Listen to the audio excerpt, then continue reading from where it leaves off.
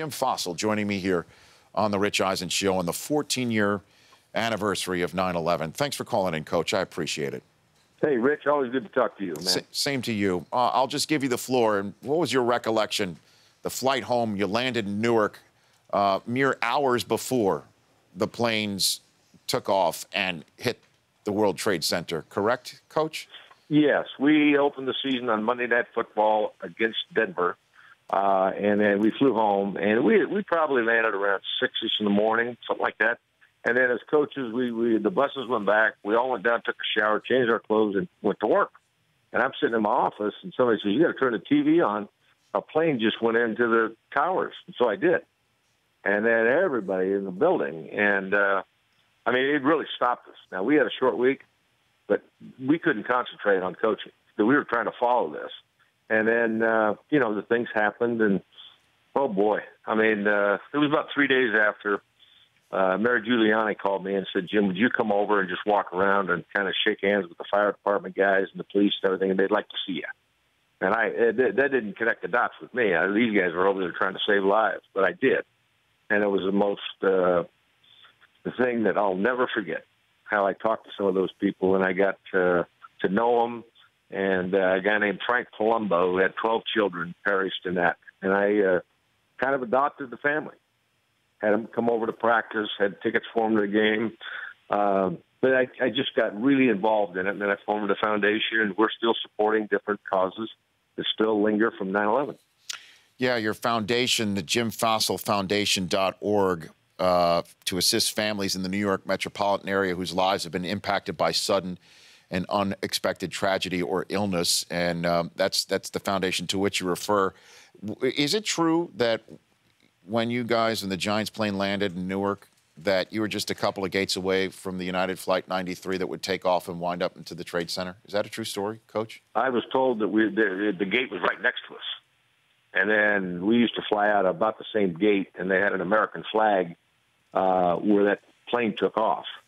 And yes, I mean, I, I, I went to our uh, football operations guy and I said, you know, uh, we came in on United. That plane was United. Uh, what was just tell me some things. And uh, he said that it was it was the gate right next to us. Mm. And uh, there's just so many memories. I mean, our, our video guys came in my office and said, Jim, we got high powered lenses if you want to look at the buildings. And so I went on top of Giant Stadium and looked through a like a telescope, and I could see everything there I had my boat parked over in uh, Manhattan, and they called me and they said, Jim, we can rescue some people. If you don't mind us taking your boat, we'll load some people up and get them out of here. And I said, take my boat and get them out.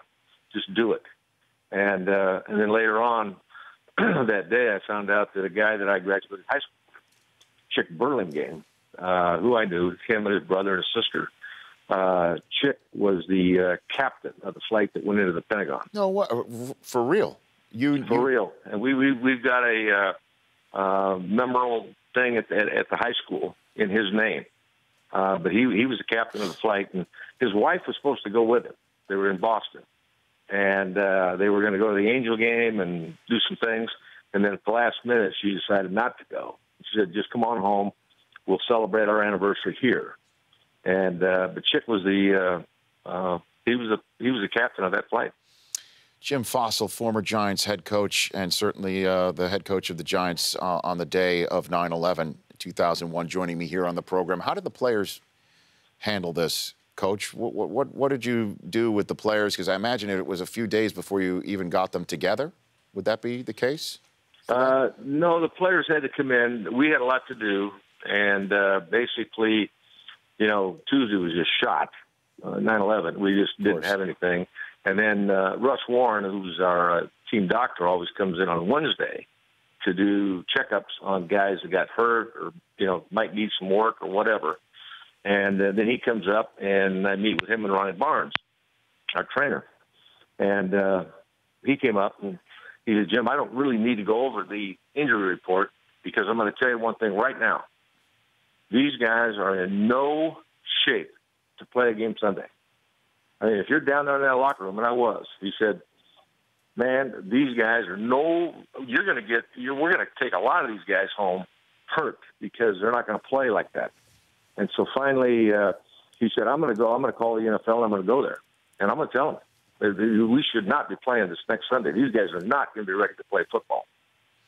And one of the more uh, legendary owners of the game. I mean, his nickname is on the football, uh, the Duke, Wellington Mara, the owner of the Giants at the time. What conversations were you having with him about what his conversations with the commissioner might be having uh, at the time, Coach? Well, he, he had conversations, and, uh, you know, they, they just needed a little bit of time. They didn't want to react so fast. You know, gather some information from different teams, talk to a few owners, that type of thing, and then Paul Tagliabue made the right decision. He made the right decision. I mean, we were we were not ready. I mean, there was all kinds of things that were so memorable to us. It's like Giant Stadium was a was a was a ground where people would drive their car into Giant Stadium, park it in the morning, and get on a bus into New York City. Okay, there might be 200 cars parked there. All right, and I remember seeing it. And that night when I left, that parking lot was full, and it's never that way. And I went, oh my God!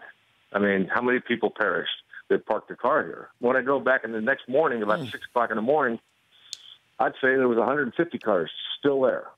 And I thought it just it made me sick to think those people parked their cars and went into work uh, in the city, and they probably perished.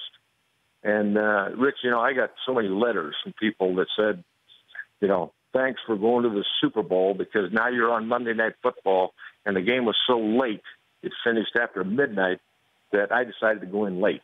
I wasn't going to get there early. I was going to take a half a day. And if if you guys weren't on Monday Night Football, I'd have probably been one of those towers. And uh, you know, people saying thanks for that. I go, geez, really. Jim Fassel joining me here on the program, uh, and that just, I guess, speaks to sometimes when you're in the sports world and you're doing your job and you've got the tunnel vision of of making sure that you got to prepare for a game and things that nature. How how much it means to to fans, just regular people, what you do and just gives fresh perspective, especially since first responders, the number of Giant fans that I grew up with who are first responders, right? Jet fans too. Uh-huh. It's not just the Giants.